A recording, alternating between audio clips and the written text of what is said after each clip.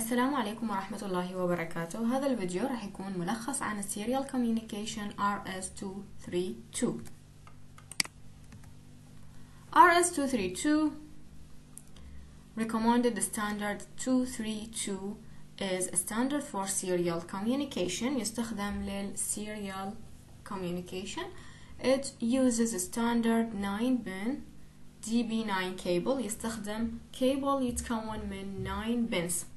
RS232 communicate using a positive voltage for a binary 0 and a negative voltage for binary 1 راح يمثل ال positive voltage بلوجيك 0 ويمثل ال negative voltage كلوجيك 1 PLCs uses uh, use RS232 to communicate with its models uh, هذا الجهاز يمثل uh, PLC وهذا الموديل لل PLC اللي هو يعتبر ال controller أو جهاز يعرض عمل ال PLC ال PLC نفسه يسمى Data Terminal Equipment وال controller يسمى ال Data Communication Equipment. ال ال هذا الكيبل هو الكيبل ال RS232 ال cable ال connector بال cable بالنسبة لل data terminal equipment راح يكون ك male connector والجزء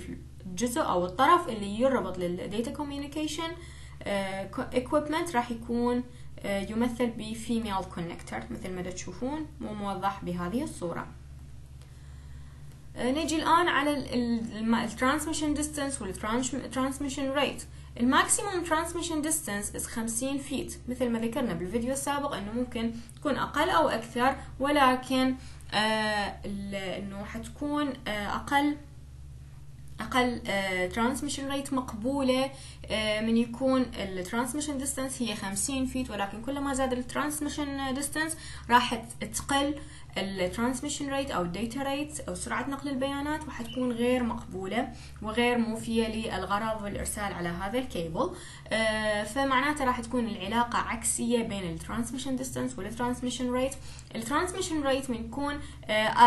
ال transmission distance 50 feet راح يكون عندي ال transmission أو ال bit rate هي 20 kilo bit per second وراح تقل وتزيد حسب طول الكيبل